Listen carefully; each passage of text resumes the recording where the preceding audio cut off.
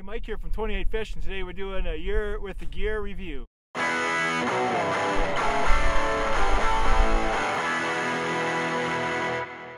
So today I'm going to show you the clam fish house cover.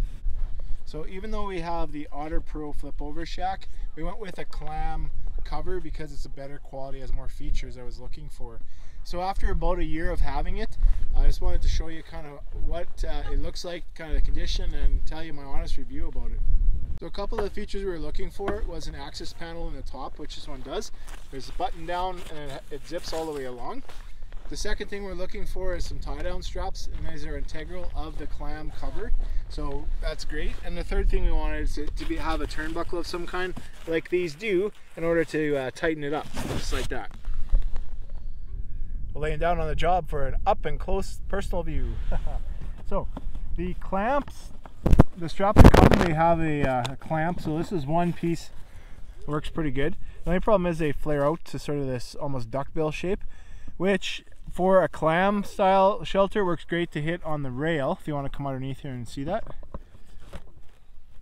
But on the otter it doesn't quite work. So we installed these D D-rings these tie downs um, which I'll show in another review. But that works pretty good. The only drawback because it is kind of wide it's a little bit difficult when you're reaching underneath to, to uh, hook them up. But with that quick ad adaptation it works fairly well and we've never had the cover come off so to the positive, like I said, the four down integral straps, tie downs are great. We like the turnbuckles, like the access panel. It's water resistant, fairly pretty much completely waterproof. And the fact that it's deep enough to accommodate, even with this futon, as you've probably seen in our videos that we put in here, that extra 10 inches, it still is able to wrap around the sled and keep it completely dry inside. So some of the cons are as follows. Number one, the first thing we noticed is just the wind rash them going down the highway. We've had this fraying happening on parts of the cover. So, I mean, eventually that's gonna wear right through. Secondly, this, as great as this access zipper panel that has snaps is concerned, it's great, but for a quick access, but the problem is the straps go over top, so you have to take the straps off anyway. That's kind of poor design. Okay, so as far as the snaps go, they're really, they're great for keeping it closed. But as you can see, number one, they've ripped through again from the road rash, the wind rash of down the highway.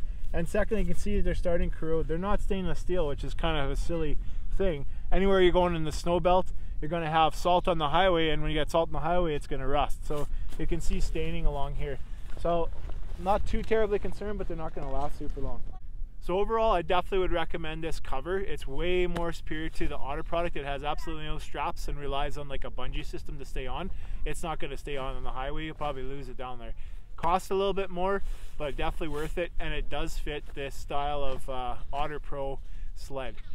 Well, thank you very much from 28 Fish for watching our year in the gear review here. So I hope to do a series of these short videos to help you know whether you should spend your money on this, feel confident about the product, and have an honest review. I'm not sponsored by anybody, that's for sure. And I just want to make sure that the information I was looking for is in your hands.